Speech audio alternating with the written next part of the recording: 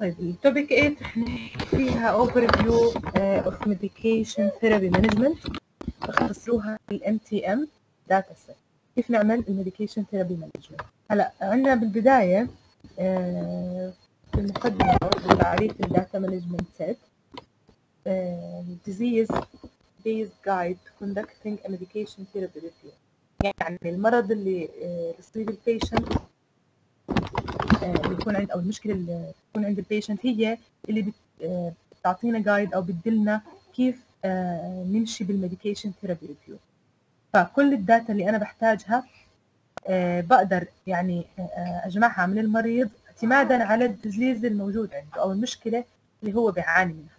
هي اللي بتوصلني أو بتقودني لأنه أنا شو المعلومات اللي مطلوب أبحث عنها. فبقولنا each data set incorporate practical aspects of how to perform the core elements of MTM for a given disease. لازم تكون المعلومات فيها تتجمع. طبعا المعلومات لازم practical يعني من ال clinical situation من ال case اللي قدامي. وغطي كل ال core ال core elements اللي هي ال elements الأساسية في ال MTM أو ال medication therapy management لل disease الموجود. آه هون عندنا خلينا نقول الخطوات اللي نمشي فيها بال MTM data set محتاجة comprehensive medication review. آه يعني بدي أراجع آه كل المشاكل الموجودة عند المريض. comprehensive بشكل آه مترابط. يعني أشوف كل ال signs symptoms فحوصاته إلى آخره. personal medication list بدي أعمل لستة بأدويته. و medication action plan كل ال plans اللي انعملت كل ال activities كل ال recommendations اللي موجود بعدين محتاجين intervention أو referral يعني آه شو كان عنده آه بال plan شو عنده goals شو في مشاكل بدها حل. بدي أعمل intervention زي ما مشينا بنذكر كيف الآن. وآخر شيء لازم أعمل documentation عندي بال آه ال table هاد ال section بتاعت ال introduction of medication management data set ال introduction لازم أحكي عن مجموعة نقاط. يعني لما أبلش ب ال disease اللي عند المريض بدي اكتب introduction بالبداية. ال introduction شو لازم تغطي؟ لازم تغطي definition of a primary disease state يعني أعرف المرض الموجود عند Uh, secondary causes contributing factors.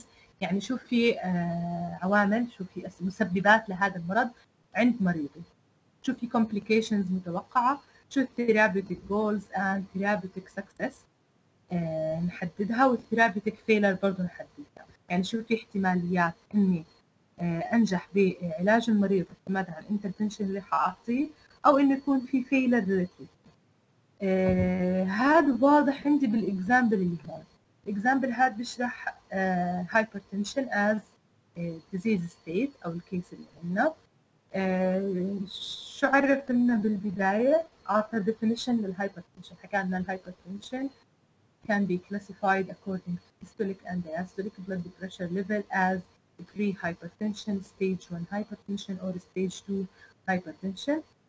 آه برضو آه من الديفينيشنز الموجودة لهذا الديزيز اللي هي hypertensive crisis, isolated uh, systemic hypertension, orthostatic hypertension and pseudo hypertension. هذا كله كان بالديفينيشنز أو المصطلحات أو التعريف الأساسية لكلمة hypertension. Uh, secondary causes of the disease لازم أعملها list. يعني أحط شو في مسببات عند مريضي وفي عندي complication of the disease لازم أكتبهم وإيش كمان therapeutic goals to assess the treatment success or failure and monitoring parameters هذا كله لازم نحكي عنه آه بالintroduction يعني بداية آه شغلنا في ال MTM طبعا كله بيعتمد على الكيس اللي بتكون قدامي هلا الكور elements بتاعت ال MTM اسموهم ل آه أكثر من يعني جزء أو تصنيف. خلينا نقول البداية هون core element 1 اللي هو. آه، بنحكي فيها عن comprehensive medication review. أو بدنا نعمل comprehensive medication review. في مجموعة من الأسئلة نطرحها. بتجاوب أو بتجاوب لنا أو بتجمع لنا المعلومات المطلوبة بهذا الكور element.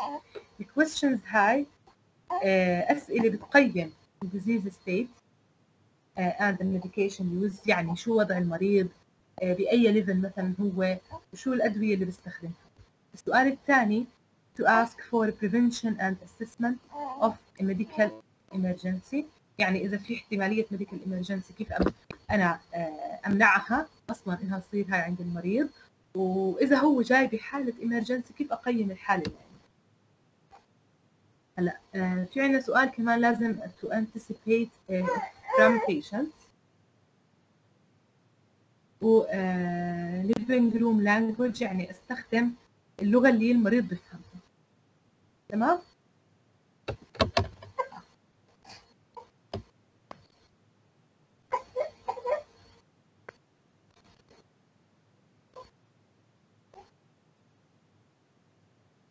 يعني لازم لما أنا بسأل مريضي عشان آخذ ال data هاي يا جماعة أستخدم language اللي يقدر يستوعبها أو يعطيني المعلومة اللي أنا طالبها. هلا الأسئلة هاي عشان أنا أقدر أجاوبها لمريضي محتاجة أعمل interview interview يعني مقابلة مع المريض.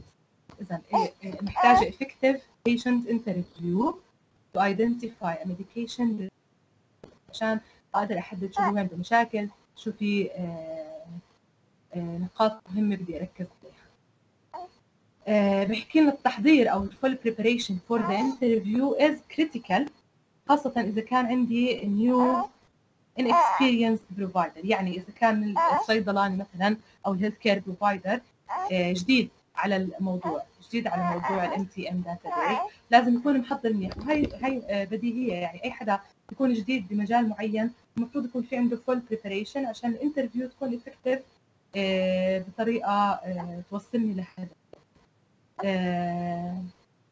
The practitioner should encourage the patient to ask questions and to have an active role. يعني مش بس أنا أسأل كمان مريضي يسأل.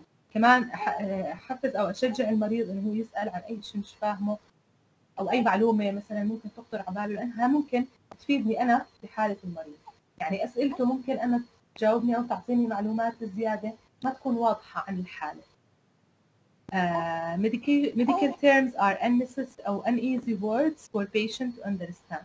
عشان هيك ركزت وقلت لكم نستعمل ال lay language أو بنسميها ال living room language لأنه كثير من ال patients ال level ال education أو ال educational level ما بتساعدهم إنه يفهموا medical term ما بصير أحكي مع المريض ال English ما بصير أحكي له medical jargon كلمات معقدة صعبة مش رح يفهمها لا بستخدم lay language اللغة اللي هو بيستوعبها بوصف له المعلومه The provider must be familiar with a living room language or lay terminology. For example, نعطيكم هون كيف لازم يكون إحنا آه لغتنا بسيطة. لما أحكي للمريض آه diuretic يمكن ما يفهمش يعني diuretic بس لو قلت له water pill يفهمها تمام؟ آه فهيك النقاط المهمة. عشان أنا أطلع ب effective أو ب interview أحصل منها المعلومات أو ال data اللي أنا محتاجتها لاجاوب عن الكويستشنز هاي وآخذ comprehensive medical review من ال patient عندنا هون مجموعة من الكويستشنز أسئلة مصنف لنا إياها as disease related questions أو questions direct to the patient aim to help or prevent or plan for فنشوف في البداية فوق ال disease related questions عندي السؤال الأول how long have you had high blood pressure إحنا still ال case تاع إنه disease إيش؟ blood pressure. فالسؤال اللي متعلق بيتعلق بال أو الأسئلة اللي بتتعلق بال disease أول شيء how long have you had hypertension يعني قديش إلى عندك هاي المشكلة؟ أو ممكن أسألها بطريقة ثانية when we when you uh, were أو when were you diagnosed إمتى تشخصت بهذا ال disease؟ هذا بعطيني indication عن قديش المريض له كم سنة uh, عنده المشكلة. السؤال الثاني اللي ممكن نستخدمه اللي هو what do you know about the risks of uncontrolled blood pressure هون بشوف مدى إدراك المريض للخطوره إنه يتعالج ما يتعالج أو ما يلتزم بأدوية. اساله أنت بتعرف شو في risks of uncontrolled blood pressure يضل ضغطك عالي وما ينزل أو ما تاخذ أدويتك. تعرف شو اللي ممكن يصير؟ فبفتح discussion بطريقة طرح السؤال. هذا how often you can أو how often do you check your blood pressure at home كم مرة بتشيك على ال blood pressure أنت بالبيت؟ هل بتروح مثلا بتراجع بس بالعيادة؟ بتقيس ضغطك ولا عندك جهاز بالبيت وبتشيك وبتشوف ضغطك تمام أو لا. فهي كلها disease related بتفتح النقاش عشان أقدر أجمع أكثر data عن ال patient هلا uh, questions direct to the patient والهدف منها بتكون to prevent أو help in emergency uh, زي عندنا بالسؤال الأول what are signs of heart attack or stroke and what is your action plan لأنه ال patients اللي بيكونوا with hypertension بيكونوا at risk of ال heart diseases زي ال heart attack ال stroke إلى اخره فهل بنسال إحنا أو بنتاكد من مريضنا بيعرف شو في warning signs شو يعني warning signs يعني آه علامات آه بتبين عليه أو أعراض بتدل على إنه هو آه عم يتعرض ل heart attack ل myocardial infarction ل stroke فلازم يراجع emergency department have you fallen or felt dizzy or had blurred vision or racing heart when uh, getting up from sitting or lying down uh, هاي الأعراض كلها شو دليل على إيش؟ اللي هي ال you fallen يعني وقعت أو دخت آه، عندك blurry vision أو عندك racing heart اللي هي tachycardia هاي كلها signs على آه، ممكن postural hypotension أو مشاكل آه، tachycardia فكلها لازم أكون متأكدة إنه المريض مدرك هاي الأمور. السؤال الثالث اللي هو have you ever been hospitalized for high blood pressure وهي مهمة لأنه if he is hospitalized due to hypertension معناته هو عنده high risk لإنه يرجع يدخل ب emergency case جديدة أو يصير عنده complication معينة. تمام؟ فهاي الأسئلة بتسهل علي آخذ المعلومات. هلأ بالمقابل في أسئلة uh, commonly asked by patients. يعني المريض نفسه بيسألني إياها. مثل إيش؟ ممكن يسألني what is high blood pressure? what cause high blood pressure? شو هو الضغط؟ شو بسببه؟ شو شو سبب ارتفاع الضغط؟ what health problems are associated with high blood pressure?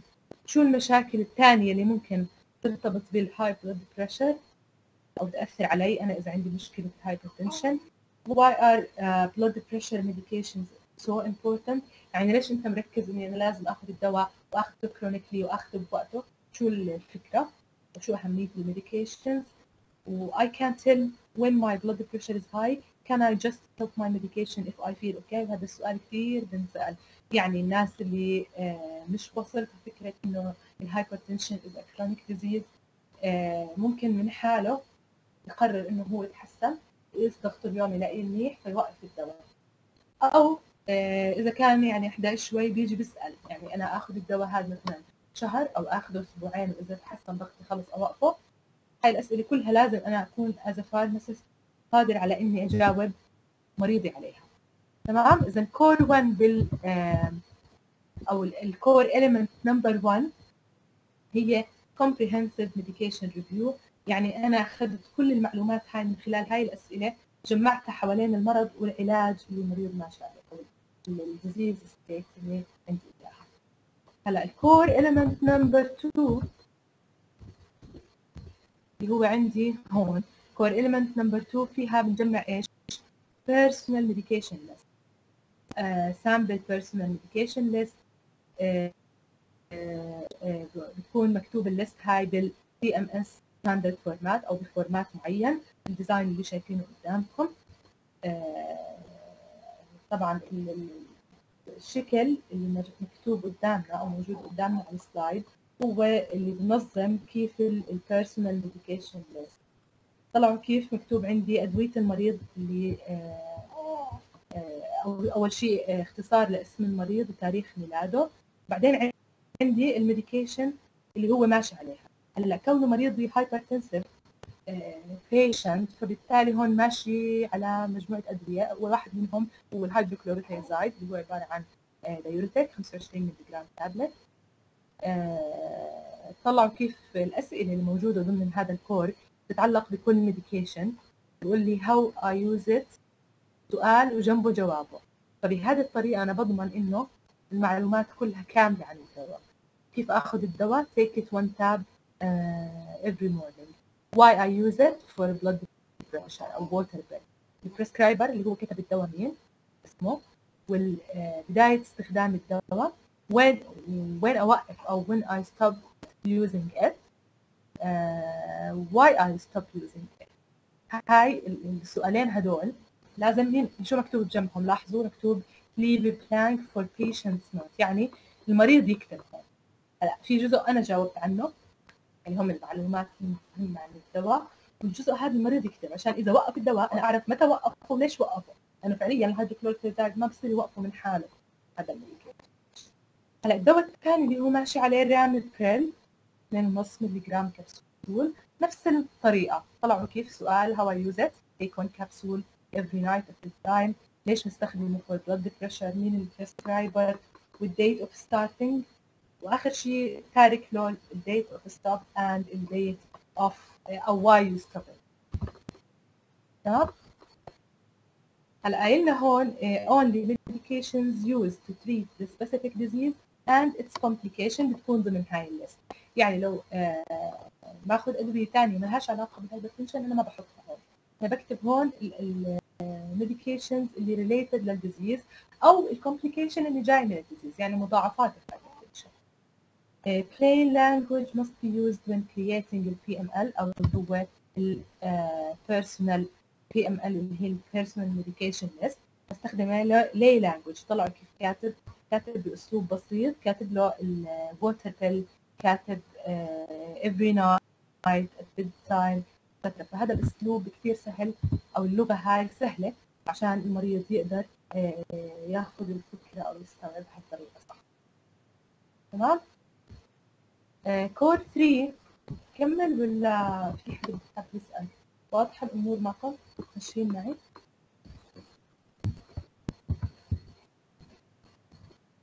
نحن هيك حكينا عن أول two core elements من ال MTM أول core كان في عن comprehensive medication review. ال core الثاني كان في personal medication list. ال core number 3 أو ال core element number 3 عبارة عن medication action plan. يعني عبارة عن عبارة عن ال plan اللي أنا بدي أمشي فيه مع المريض. بيكون برضه حسب ال standardized format أو ال format أو ال form اللي شايفينه قدام. طلعوا هون كيف ال medication action plan أو بيختصروها بكلمة MAP آه كيف مكتوبة. أول شيء date prepared بكتب التاريخ المفروض. What we will talk about. عن إيش أنا بدي أحكي بهذا ال action plan أو بهذا ال medication action plan I really need to see how the new medication or medicine is working for blood pressure uh, what I need to do and what I did it I did and when I did it uh, what I need to do يعني check blood pressure at home at least three times weekly write down my blood pressure at uh, a logbook و bring a logbook me with, uh, with, with me على الكلينيك شو هاي شو هاي النقاط؟ هاي نقاط إنه شو لازم يعمل المريض. What I did and when I did it leave blank for patient يعني عنده قدامه النقاط اللي هو لازم يعملها. وأنا تركت له مجال أو space يكتب فيه عمل هاي ال actions ولا لا. okay هلا ال action steps بتاعت ال patients أو فور بيشنت specific disease يعني هون الاكشن هاي لا الهايبرتنشن أو للبلد الهاي بلد بريشر بقول لي only a few of the most important action steps should be listed so as not to overwhelm the patient. Provide should use a plain language أو provider. نفس الشيء لازم استخدم plain language لغة سهلة بنفس الوقت ما أعطيه كثير خطوات أو حكي كثير زيادة أضيع المريض لا كم من نقطة مختصرين وواضحين عشان يقدر مريضي يطبق النقاط الموجودة. أضمن إنه هو فهمها طبقها تمام؟ معي يا جماعة. حابة أوقف هون؟ يوم الأحد إن شاء الله من بنعمل ريفيجن سريع على الموضوع بنكمل وبلكن نعطي نعطي case أو مثال ثاني غير ال hypertension ونمشي فيها بنفس ال elements أو بنفس الأسلوب. عشان نقدر نفهم الموضوع. أكثر في أسئلة؟ أنا حابة أوقف لحد هون صراحة